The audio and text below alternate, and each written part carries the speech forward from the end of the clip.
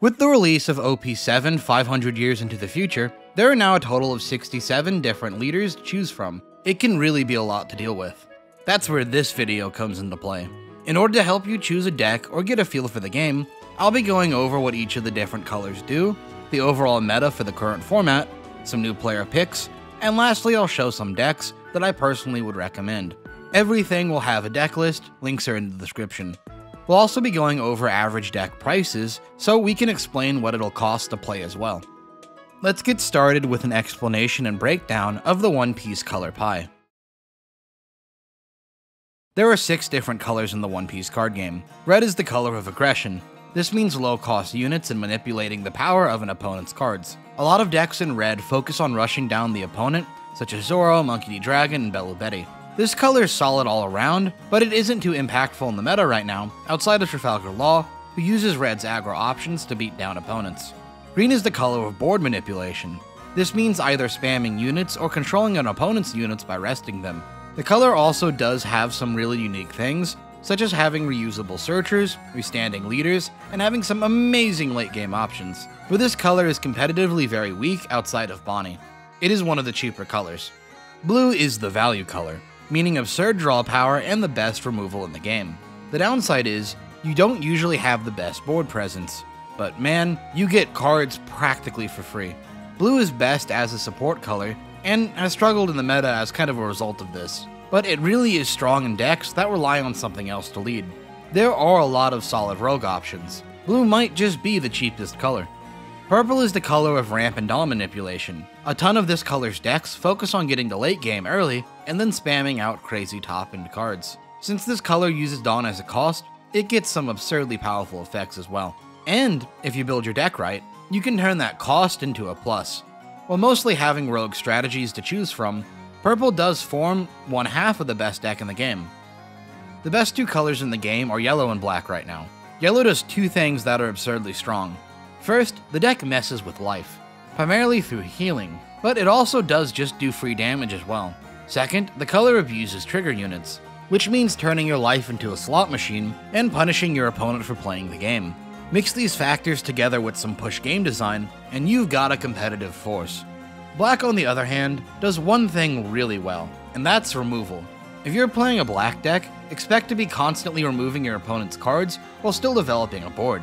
You've also got the only graveyard recursion in the game, making for what's probably the best color overall at this time. It also helps that all the best counters for black are in black. Black and yellow also happen to be the most expensive colors, both needing some absurd staples across almost every set in the game. So, now that we have a breakdown of the general color pie, what leaders are actually good? Here's my breakdown of the overall state of every leader or deck in the game. This is a very rough and a very zoomed out breakdown of what's what. Any deck in the strong category is what's most likely to be seen at competitive tournament events. From this, the decks are then split into meta and rogue categories depending on how well they tend to do in those tournaments. If you're interested in only competitive play, I strongly recommend choosing one of the meta decks. Playable decks are any decks that could win a locals, or potentially more if the player is good or creative enough. Weak decks are decks that struggle against basically everything, or oftentimes are just worse versions of other decks. Even if the deck you're interested in isn't strong, don't get too discouraged. Just about every deck has something special it can do, and a good player can really bring out that spice. Some are just going to take way more work than others. Now that I've got your hopes up, let's crush them by doing a breakdown of this game's prices, so we can be realistic about what you can build. Let's start with the cheaper colors, green and red. Red is very cheap as long as you're not building Trafalgar Law, and Whitebeard staples are useful in other decks later on. Expect to build most red decks for about $100. Green decks tend to also mostly be cheaper, only having one or two top-end cards be expensive. Luckily, with the way most green decks work, you pick only one or two of these in pieces and build around them. So, it's like an either-or situation. An example, Uta builds around Captain Kidd, and Wano builds more around Zoro and Hody Jones. And this holds true unless you're Bonney, where you just oftentimes kind of run them all. Expect most green decks to run you about 100 to $150 depending on your list. Purple is a more mixed bag, and is oftentimes way more expensive than it ought to be, with its two most generic staples of Queen and Bon Clay being quite pricey. Not every purple deck runs these, but all the strong ones do. Purple decks often tend to end up more around 100 to $200 depending on what staples your deck uses. You can cut quite a lot and get cheaper, but it gives mixed results. The two most expensive colors are yellow and black. Yellow requires expensive top end that just adds up, and black requires expensive engine pieces that also add up, and both are kind of hard required for their respective decks. Expect to spend above $200 for a black or yellow deck. Lastly, we have the cheapest color in the game, blue. Most everything is below $5. You have like one $10 top end card. Expect to build most blue decks for a bit below $100.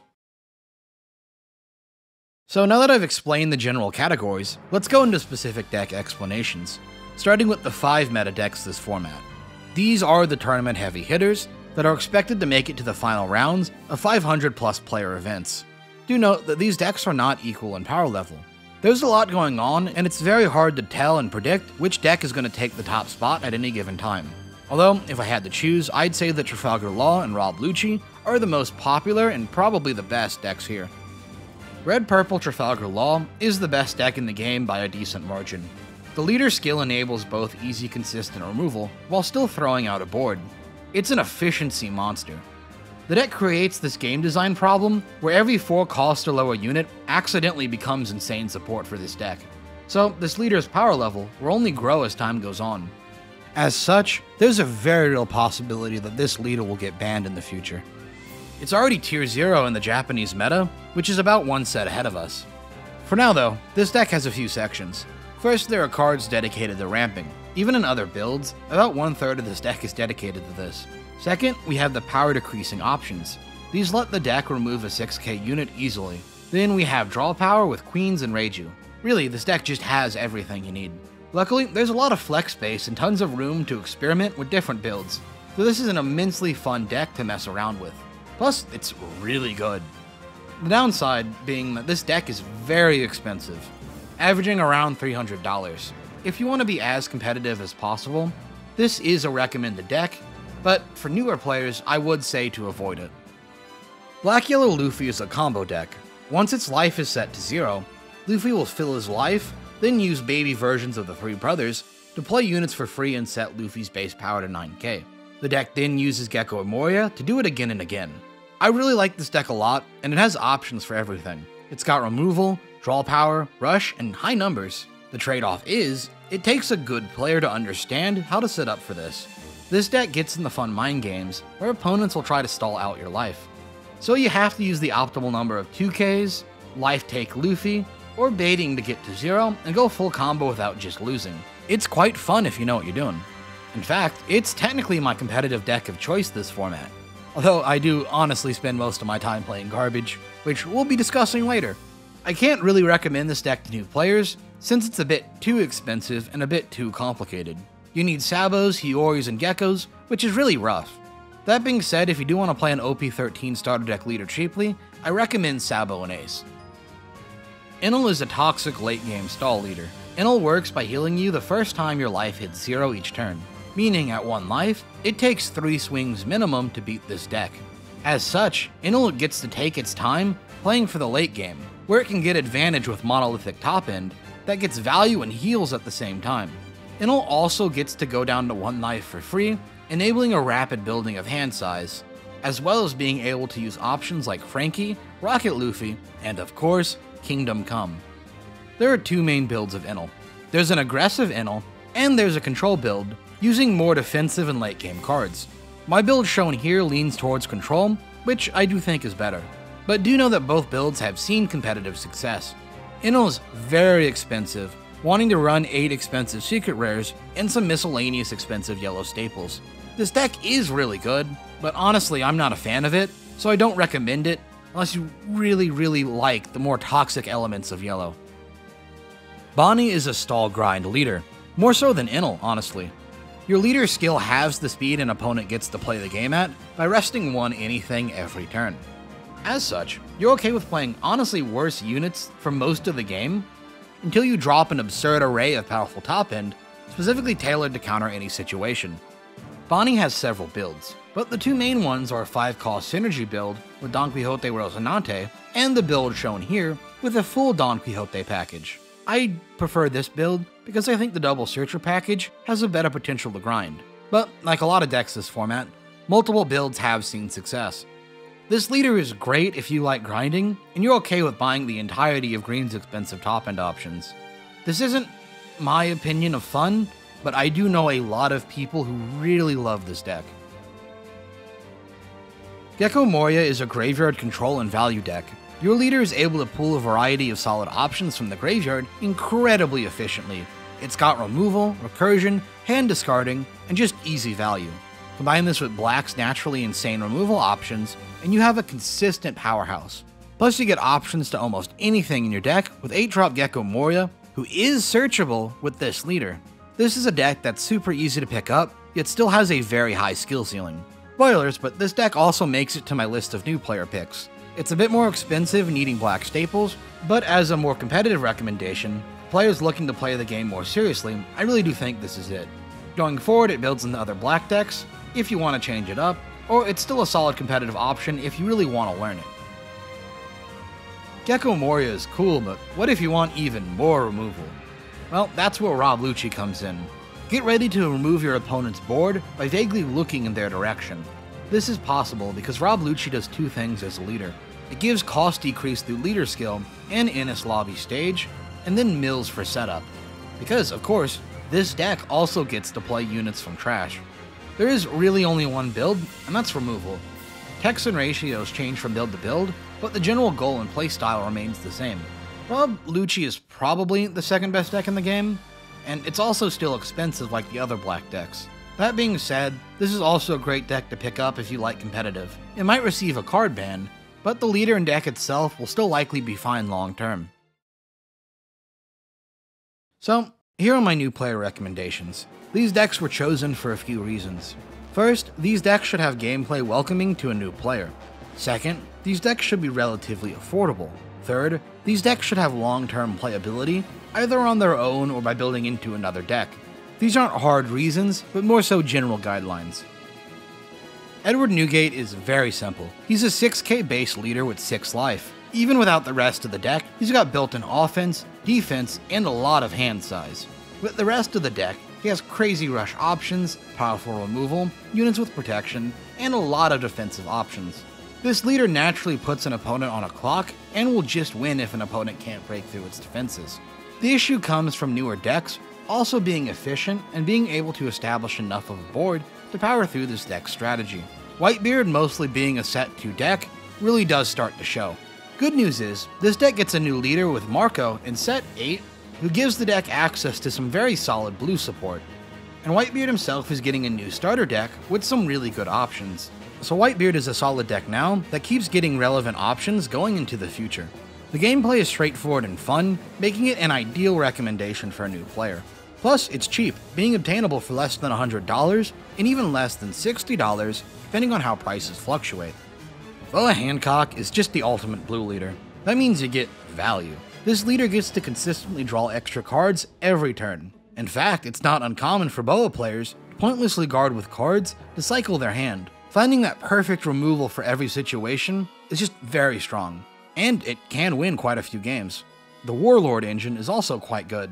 However, the downsides of blue are still there. The board pressure just isn't enough in a lot of matchups, and because of that, the best decks can just remove anything this deck throws out. That being said, if you like blue, this is your best option until Doflamingo gets his new support. If you like Boa, you can get on this deck's hype train. Katakuri is a yellow trigger aggro deck with a top end that just wins games. By having around 70% of the deck being triggers, you get to punish the opponent for just trying to progress the game. Then, late game, you throw out Big Moms, which are very toxic and hard to deal with. This deck's events make finishing games very easy, and Katakuri Leader makes for easy 7k swings. Katakuri is a very strong deck that really almost plays itself, making it perfect for new players. Katakuri is an older meta deck meaning other decks have finally caught up with this deck's playstyle. Large top end removal, or just better aggro, is a factor now. That being said, Katakuri as a deck has the gimmick of just winning games if you're lucky enough. Katakuri also builds into other decks in the future, such as Purple Yellow Pudding. Not to mention, Katakuri is also getting a new structure deck, so this deck is sticking around in some form for a while. Green Yellow Yamato is mostly an aggro deck, with a leader that has double strike. The leader itself is the main driver of this deck, with other characters being bonuses and finishers. Recently, this deck has started to use the You Can Be My Samurai and Wano engine to draw more cards and set up for crazy combos, enabling insane consistency and the actual ability to play for late game. This build is a bit more expensive, but I really do recommend it. Yamato as a deck has always had the problem of getting counterpicked or counterplayed. Some decks and hands will just beat this strategy. That being said, this is a great deck that can do a lot for a new player who wants to play more aggressively. It's also very fun. Purple Monkey D. Luffy is a purple deck for purple decks. And by that, I mean its basic premise is to quickly ramp DON!!, and then just spam purple staples. Of course, this is strong because it means late game is now mid game, and you have some crazy finishers. This deck is often criticized for being very straightforward, and really that's its only downside. That being said, I do think it's still quite fun and perfect for a new player. It's slightly expensive needing purple staples, but recent reprints have dropped this deck's price, so it should be affordable. Hopefully. Later on, it's getting a new starter deck with new support, so it will remain somewhat relevant in the future. It also does build into other purple decks. Green Uta is a film deck all about spamming value and building large boards. Since this deck is roughly 95% film cards, your leader is just an extra draw every turn. Add in Nami and New Genesis, and you have titanic hand sizes. You might notice that this deck runs a ton of blockers. That's because this deck's obnoxious win con. Use this Captain Kidd. Kidd is a wall that this deck can very easily protect, thus locking our opponents into a loss. This deck is more expensive than it ought to be for a starter deck deck, but I really do think that this deck is perfect for a new player. It's straightforward enough, but it has so much room for a player to learn with. Thus, it justifies my recommendation for new players despite the price. Here's a section of decks for those looking to try something new. These decks are of mixed quality, but are all decks that I personally love and think can be quite strong in the hands of the right player. Several of these are covered on the channel as full deck profiles, so check those out if you want more. Pure Yellow Big Mom is often considered to just be a worse version of Katakuri, and in many ways, this is true.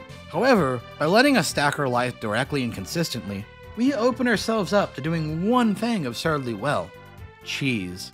Imagine, if you will, consistently using multiple copies of the card Soul Pocus to just annihilate our opponent's life.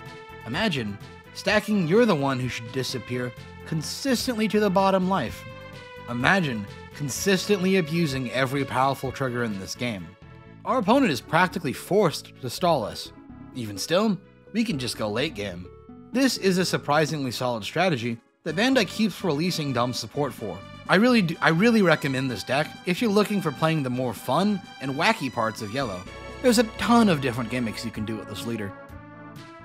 Zoro and Sanji are a weird forgotten about starter deck leader which is a shame because their mechanics are insanely fun and encourage creative deck building. Zoro and Sanji let you return a character with a cost of 2 or more to hand to restand a character you control with 7k attack or less. This lets you reuse on-play effects in 2ks, and even potentially combo with on-attack effects activating twice. But it is important to understand why this leader never took off. The best effects and combos this deck can do aren't on play and therefore lose to removal so it's really not great in the current meta. The good news is, there is a build to mitigate that. By abusing the Warlord engine, we can throw out massive board and get on-play effects easily. Plus, we get to use the powerful green Warlords alongside the blue cards, which is actually insane. It's a solid rogue version of this unfortunately forgotten about deck. Purple Yellow Crocodile is a stall late game leader. This deck's main gimmick is to ramp on the opponent's turn into massively strong late game. You heal an absurd amount thanks to 8 drop Crocodile, Ace, and Katakuri. Making this more spicy is the card will come my way, which lets us redirect an attack to any of our characters, hopefully Kikunojo. We stall absurdly well and can even outgrind decks like Enel and Bonney. The downside is that consistency is a bit of an issue. We really want to see both Miss Wednesday, our best ramp option, and 8 drop Crocodile, our best heal option. The deck is also way more expensive than it needs to be, needing 12 different meta secret rares and still other expensive staples. All that for mid. Still, this deck is very fun to play. Well, not for the opponent. Kyros is a black-yellow leader. That's 90% of his power right there. Yellow and black staples are absurdly powerful together. Gecko Moria, recurring Kikunojo, and Viola Blocker is nuts. Follow that up with a 10 drop ace, and an opponent just loses for free. Kyros has built in removal on his leader skill. It's a bit restrictive, needing zero cost units, but if we deck build optimally, we can use it to win mid game for free. Removing 2 to 3, 4, or 5 drops a game is very strong. It all adds together to make a deck that can just high roll skilled opponents and just bullies anyone who's not prepared or still learning. It does have some bad matchups against the two best decks, but it does very well into other decks. Also, of course, Kyros is expensive. I'm going to be doing a full deck profile for Kyros either next video or the video after that, so please subscribe to see it. I've already made the spreadsheet. Red Green Kozuki Oden is the best land of Wano deck right now. The deck does three main things. It has a leader with 6k base and 7k swings, it throws out a strong board of high power units very quickly, and it always has counter in hand. This means a good player can leverage these options to nuke an opponent. This deck has an especially good matchup into the best deck in the game, Trafalgar Law. As you mess with their DON!! management, and really only play units that are too big for them to deal with efficiently. And as we all know, efficiency is what defines the best meta deck in the game. Take that away and they have nothing. This deck does have some consistency issues, really needing to see the card Kozuki Hiyori to enable its plays on curve. In my testing for a deck profile, I found that not seeing Hiyori drops the deck's win rate about 30%. Great game design, Bandai. That being said, it's still an immensely fun deck, and the best of the Wano options right now. I love Kinemon, but Oden is the way to go at the moment. Foxy is a stun counter pick purple deck. Foxy lets us stun an opponent's leader and unit if we control three or more Foxy pirates. This leaves the deck in a very weird place. On one hand, this deck just kinda auto wins some matchups. If a deck depends on leader swing, it's not gonna have a good time here. On the other hand, needing to stick 3 units on board is not great against the removal based meta, and having genuinely absurd ramp doesn't really fix the issue. So Foxy is kinda left in a state of limbo for what to do. The good news is, he's still immensely fun, and his options that just mildly inconvenience an opponent are extremely funny. He also has a broken defensive card. I'd say that this leader is likely to get solid support in the next extra booster, so hopefully it'll get fleshed out there. Because it really just needs a better top end and maybe another board spamming option. Eustass Captain Kidd is a great aggressive rush option. This deck trades Trafalgar Law's removal for higher numbers and extra life padding. It might seem bad at first, but this leader lets us leverage insane pressure on an opponent. Kitten Killer, Rush Luffy, and even Monkey D. Dragon are crazy. Or we can just set up for massive pressure with high attack heat, battery Captain Kidd, and high numbers Captain Kidd. This deck has an insane matchup into Black Yellow Luffy. The deck is good, but it depends on how well you can read your opponent and how okay you are making those stressful I either win here or I lose calls. You really can't do half measures with Kidd. Good news is, this deck is relatively cheap, so if you want a deck from the three captains, but don't like selling your liver, I really recommend Kidd. That's everything for this run of how to choose a deck for One Piece. I've got more One Piece content coming up, and some massive Yu-Gi-Oh content coming up as well. So please subscribe if you want more. Thanks for watching, and I'll see you next time.